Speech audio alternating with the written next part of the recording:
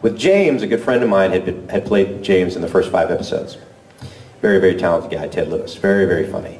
But Ted is a uh, stage actor. I had to imitate Ted in the very beginning when I uh, had to sound like for him as James after the first like five or six episodes, and it was very low register, and I was like, well, that was cool. But once I realized they were comedic bad guys, I decided that James needed to be related to Frasier and Niles Crane. and so I just thought of all of the guys I played sports against in school who wore blue blazers and khaki pants. and that's what I did with James.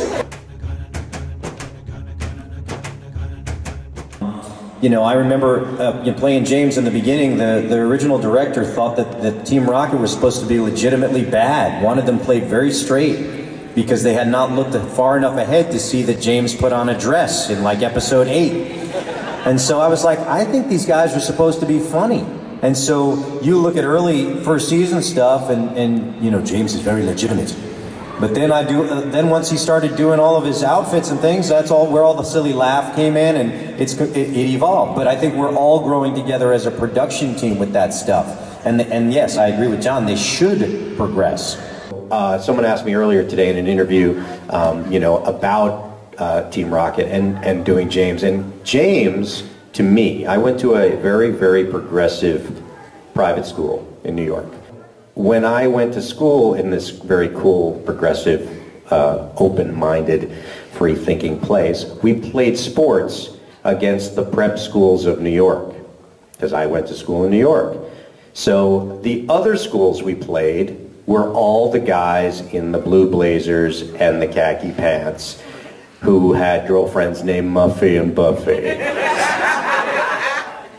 And so when I had to do this character, I thought, oh, well, this is totally like the third Crane brother.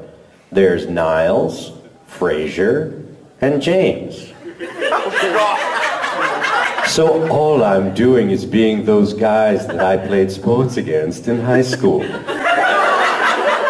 They weren't quite British. And in that affectation that they had was really, I have a lot of money. And that's what it was. So that's where I got the whole vibe from him. And all of those sort of witty barbs that he says. I think that James is so much smarter than the other ones in, in Team Rocket. So, you figured out the truth. Well, you'd better tell us where Pikachu is if you don't want your face painted like Frankenstein. Uh. That's easy for you to say. Well, nobody told you to bring that heavy backpack. And nobody told you to bring that nasty attitude either, but I'm stuck with both. They don't listen to him, and he does freak out a little bit, but that's the motivation behind it. So um, it was an interesting progression, turning those two into what I think are pretty well-known personalities. You know, uh, you know Brock's horn dog stuff and James's uh, whatever he is flamboyant side. That's really you know that developed over the years, but uh, I feel very you know much a part of that. So good question. When I was playing James and Brock on Pokemon, they were like, "Well, here's the other Team Rocket. Here's Butch and Cassidy. We want you to be Butch." And I'm like, well, these three guys talk to each other all the time. You know, I'm already doing my Casey Kasem for Brock. I'm doing my Tim Curry for James. I'll just do my Harvey Fierstein for Butch. because they sound nothing alike. So I was, I was like, I'm running out of registers. I'm trying to remember, I'm sure there are instances where Brock and James had to talk or argue, and I'm, I'm mm-hmm. pretty sure that James and Butch had a showdown. It's like I've done a scene with all three of them. What? Sue, what's going on? Nothing, James. What's going on with you? I don't know. What do you think? you know what? Girls are cool. You know what I mean? Like, that's where you go. He's lost his mark. I've only had to do the the characters live a few times. I would I would do some like radio phoners, you know, morning shows where Eric Stuart would be the guest with Brock and James, and that's the times when I'd have to talk as all three of them. And, and it's really good to catch me right before coffee and when I can actually be completely conscious because I think if I had to think about it, it would be a lot harder than just being sort of an autopilot. But I think my favorite James line is from The Unown, the movie of The Unown. Remember the floating letters? And James says, I haven't seen this many strange letters since I placed that personal ad.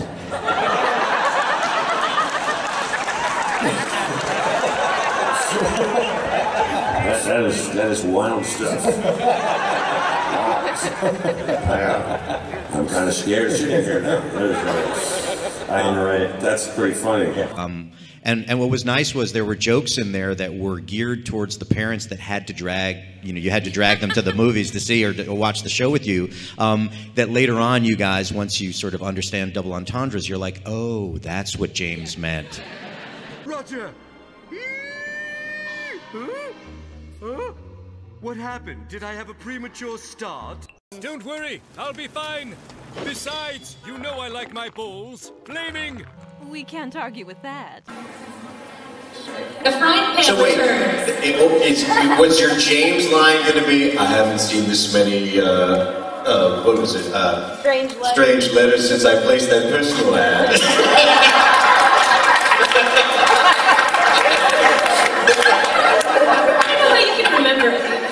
No, my favorite James line of all time is, I'm a flaming Moltres.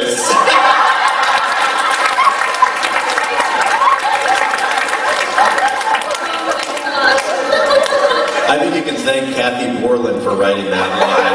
Yes, yes. And that, that was great because you know I, I'm I'm a big fan of the subtlety of, of those kind of uh, um, uh, little off-color jokes. Where, James is so subtle. Yes, right. Yeah.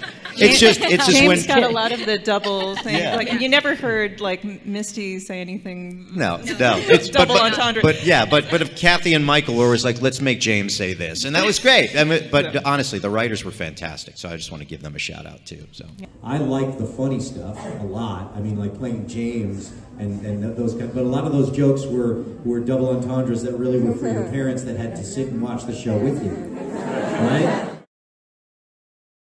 Sue, Rob, what's going on? Nothing, James. What's going on with you? I don't know. What do you think? You know what? Girls are cool. Well, you know, what I mean, like, that's where you go. He's lost his marbles.